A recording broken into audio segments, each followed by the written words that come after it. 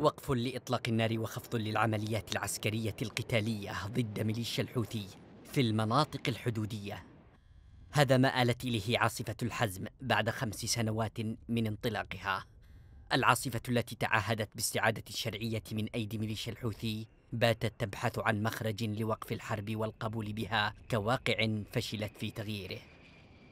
خطوات البحث عن الخروج من الحرب بدأتها السعودية بتصريحات لمصادر مسؤولة بشرت بإمكانية القبول بالميليشيا كشريك سياسي قبل أن تذهب بعيدا وتعقد محادثات مكثفة غير معلنة معها لبحث سبل وقف إطلاق النار وفق مصادر لوكالة رويترز.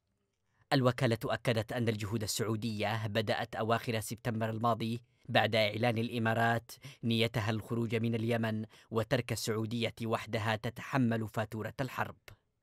وعلى الرغم من إعلان ميليشيا الحوثي قبل أشهر تقديمها عرضا للسعودية بوقف إطلاق الصواريخ وهجمات الطائرات المسيرة مقابل وقف إطلاق النار ورفع الحصار إلا أن الرياض لا تزال قلقة بخصوص أمن حدودها التي تتعرض لهجمات متقطعة من وقت إلى آخر وهو ما تسعى إلى تأمينه التحركات السعودية الأخيرة الساعية للوصول إلى حل مع ميليشيا الحوثي دقت ناقوس الخطر لدى الشرعية المدعومة من الرياض حيث خرج مستشار الرئيس هادي عبد العزيز جوباري محذرا من مغبة أي اتفاق مع ميليشيا الحوثي يبقي العاصمة صنعاء وغيرها من المناطق الرئيسية تحت سيطرتها. مؤكدا أن ذلك سيكون خطأ فادحا وسيأسف بشأنه السعوديون بشدة.